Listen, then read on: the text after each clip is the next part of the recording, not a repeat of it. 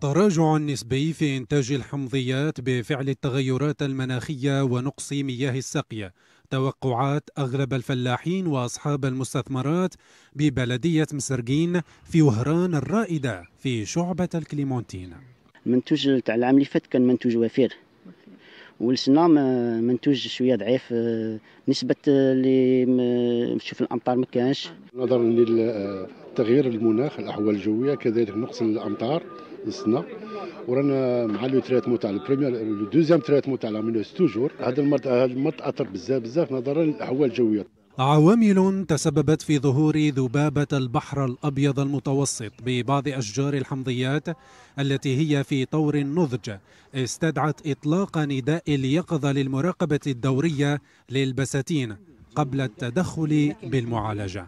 هذه الذبابة obligé علينا نراقبوها. علاش؟ باش كي توصل عتبة الخطر باش الفلاح ماشي يقعد يدير الدواء آه، بصفة عشوائية.